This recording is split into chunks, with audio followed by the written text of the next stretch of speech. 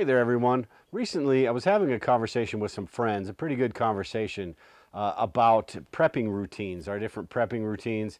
And the conversation kind of turned into more of a conversation about uh, how to stay engaged with prepping. Uh, to me, there's three, three things, three major things that can really kind of derail your preparedness plans. Uh, those are complacency, uh, distractions, and I think the biggest one is probably finances. Sometimes it's we just don't have the money to do what we need to do.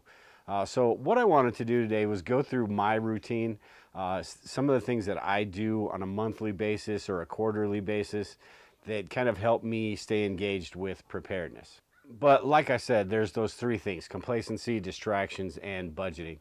With complacency, it's really easy to become complacent, especially when preparedness is concerned, because nothing you know happens all of all that much uh, but we need to be ready for when it does. So uh, at times we can be like okay i've been doing this for years and nothing's happened or i've been doing this for six eight months and you know is it really worth my time? Uh, and we can become complacent and that's pretty dangerous because if something does happen even if it's something small uh, we're not going to be ready for that or we're going to be you know we're going to think we're ready but we're actually not ready uh, distractions is a tough one too because life just kind of gets in the way all the time, right? Sometimes those are absolutely unavoidable situations. You know, when when stuff happens that you actually have to deal with. Uh, this kind of goes into finances as well. Uh, but sometimes they're you know subconscious. We create those distractions. If it's something that we don't want to do with preparedness, we're just not looking forward to, inventory and rotation comes to mind.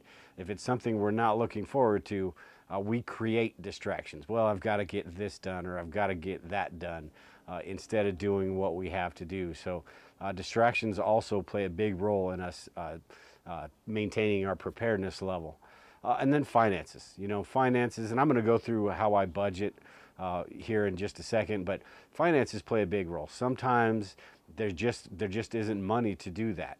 Now there are some things we could do to become pre better prepared that don't cost any money. A, a lot of things actually, uh, but it, inevitably we're going to need to spend that money. So we're going to have to figure out a prepping budget, whether it's on food or supplies or anything like that. So uh, with those, you know, those are the three main things. If you have any ideas or any comments about what kind of derails your plans, make sure and leave a comment below.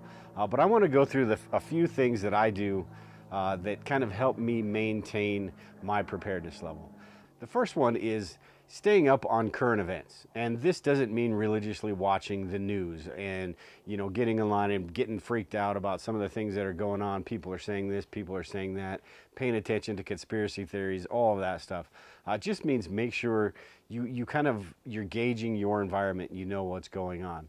This is especially important on a local level because usually the news is more of a national or statewide thing where in your county or in your neighborhood, uh, you don't quite get the information you get on a national scale. So uh, paying attention to that stuff is important because that's the stuff uh, that you know could could affect you the most. New development, uh, military, all of that different stuff. Uh, how the neighborhood is changing, just you know, police scanners and all of that. Paying attention to that stuff and making sure you're up on the information about what's going on in your area. Uh, after, after that, um, it's creating a threat assessment. And what I do is I try to get this monthly and just kind of glance over my threat assessment. Okay, this was my priority last month. Has that changed? Has any of the any outside factors change that, that affect that threat assessment? Has anything moved up or anything moved down? Uh, is my preparedness level for that certain scenario, uh, is that better or worse than it was last month? And I just kind of go over that uh, sometimes i will miss them here and there, but I try to do that once a month at least and get an idea about where I am. Uh, and then, like I said earlier, I try to create a monthly budget to figure out how much I have that I can spend on preparedness that month, whether it be for food or supplies I need or fuel or anything like that. Uh, what I do is I create a budget. You, you have to make sure and pay attention where your money is going. Uh, that way you know exactly how much you have to spend. There may be some months where there just isn't that extra money. Uh, there may be quite a few of those months. Some people have more money than we do, but I think the vast majority of us uh, need to, you know, need to budget each month about how much we can spend. Uh, when I do my budgets, I plan everything out. I plan how much extra we're going to have. And then from there, I can go into, okay, how much of that can I use for food storage, for fuel, for anything like that.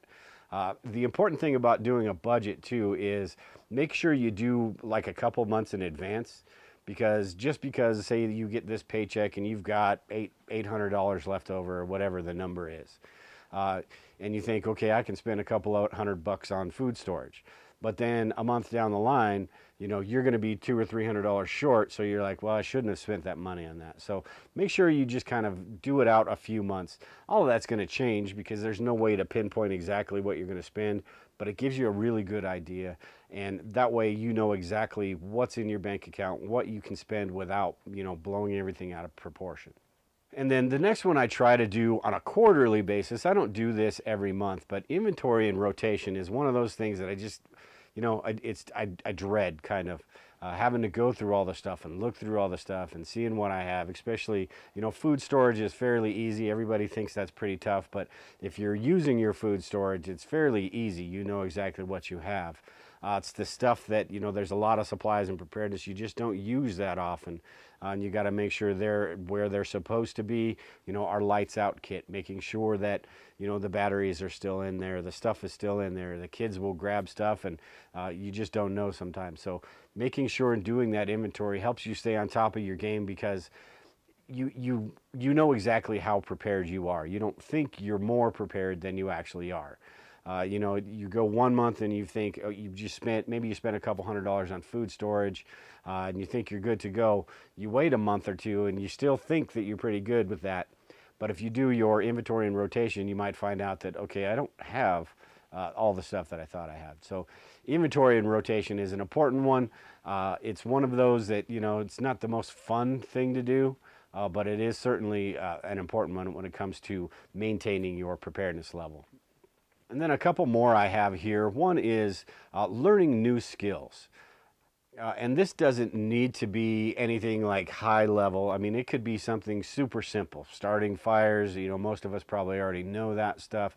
Tying knots. I mean, just doing something that's new, something that kind of opens the doors a little bit, something that, you know, may be useful in some sort of you know, short-term SHTF event, long-term SHTF event. Just learn something new. Uh, this is, you know, especially important on those months when, you know, those leaner months when maybe you don't have uh, the money to do that. In the summertime, depending on your climate as well, uh, there's a lot of outdoor activities we can be doing and learning different stuff. The wintertime, it's a little bit more of a challenge. Uh, but uh, you know that's you know it's it's one of those things we just have to kind of kind of play with. But always learning something new, trying to learn something new at least once a month, you know, two times a month, three times a month, trying to learn something new. Uh, along with that, the final one I've got here is practicing the skills that I already know. And I separated these because, you know, there's a, a lot of skills that we need in when it comes to preparedness. Uh, but we also need to maintain those skills. Uh, shooting comes to mind. The, the bushcraft stuff comes to mind uh, fire starting, all of that different stuff. Uh, we need to make sure we're ready, you know, not that we've learned it uh, a few years ago and we should be able to do it. Uh, we need to be practicing that stuff and doing that stuff. And that's where, you know, maybe going camping, going hiking, uh, doing all of that stuff kind of helps you hone those skills and practice those skills. That way, when you actually need them, uh, you're going to have them and, and have, you're going to be ready to go as much as possible anyway uh, when the poop hits the fan. So uh, those are kind of some of the things that I do. Uh, I'm going to write an article about this and kind of list it a little bit better here in the near future. Uh, make sure and go to survivalistprepper.net and check check that out. Uh, if I have that done, I'll make sure I'll put the description. I'll put the link in the description below.